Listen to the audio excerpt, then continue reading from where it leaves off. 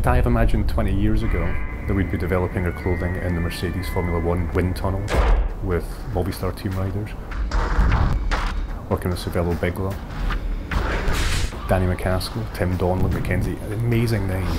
I could never have thought that, it's incredible.